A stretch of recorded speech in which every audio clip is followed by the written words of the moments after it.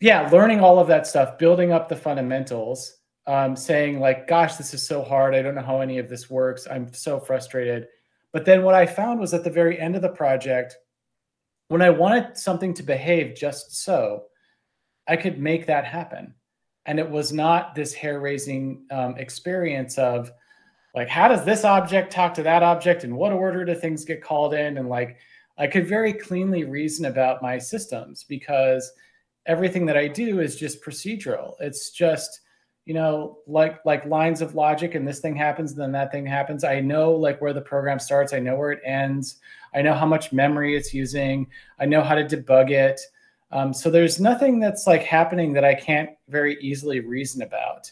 And so what I find is that towards the very end of projects, it makes it much easier to to um, to do. You've mentioned so you've mentioned that you didn't get a lot of issues regarding the logic in the game, like in the bugs reports and things like that, like reviews. So, Correct. And if you did, then you could have uh, them fixed quite easily, right? Like, yeah, and actually, um, because I had total control over um, uh, the state of the game, you could say, um, my game explicitly uses a state machine kind of system that I set up. So every move in the game goes through this like separate kind of state machine system. You can't make a move in the game unless like my state machine um, like validates like ensures that the move is valid and then like spits out the next like configuration on the board and like the next like here's where everybody's going and like here's all the animations that are going to happen and so i was very able to i was able to very cleanly lock all of that down um, i think because i have precise control over over all of it um, i know where all this stuff lives in memory i know um, I, I know all of it and so uh, I I think you're gonna fight no matter what, basically. Like you're gonna pay no matter what. The question is how are how are you gonna pay, right? Um, and I I guess this puts me, you know, like I said earlier, I'm I'm much more fiscally conservative.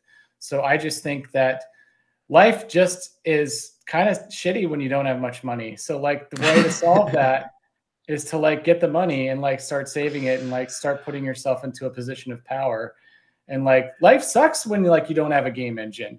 Like you don't have a game engine. Like what are you going to do? Like you got to like you know, you could make one and then eventually get to a point where you've got a, like a more robust tool set, right? Or you could like become a tenant in someone else's apartment building and have them dictate the terms to you. Like life just sucks when you don't have a game engine. and so um, I've kind of always been about putting in the work up front and investing and then knowing that you will get a return at some point down the road for all that hard work. And that applies to so many other dimensions in life. It really does. It applies to your health, it applies to your relationships. Um, so I guess if there's any criticism of me that could be made that I think is the most valid, is like well, what if you have a heart problem at 40 and like you die in the operating room and like that almost happened? like, you know, like, uh, like there, like there was a um, zero point, oh, what was it? My nurse told me that there was like a 0.02% chance. So it's basically like when I went in to get my valve repaired, there was like, I was like rolling a 5,000 sided dice and like on one of those faces, like I die. Right. And like, um, now, you know, the, the, the argument here is like, um, is this kind of thing? Um, yeah. So, like in a number of different Monte Carlo simulations of various lives, there's a life where you made your game engine and you like were just on the cusp of releasing your game and then you went in for a heart procedure and died and like i guess the question that you have to ask yourself is like do you accept that reality Do you accept that you could be living in that reality uh, yeah I, don't, I don't think that's a strong argument against learning things how things work from scratch and pretty much investing in the future like you know you yeah. can you can die tomorrow like you can. if if that's if that turns off like all the all the learning part and all the things that you can do in in 10 days this reality that you can die tomorrow. I think that's well, it's it's for me i, I thought a lot about this because i actually was faced you know uh, and i thought i've really enjoyed this process.